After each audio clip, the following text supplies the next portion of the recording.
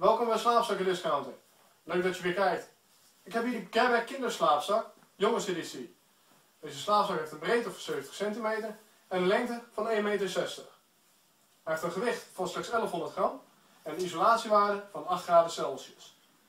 De voering is gemaakt van katoen, zorgt voor een goede vochtregulatie en een goed ademend vermogen.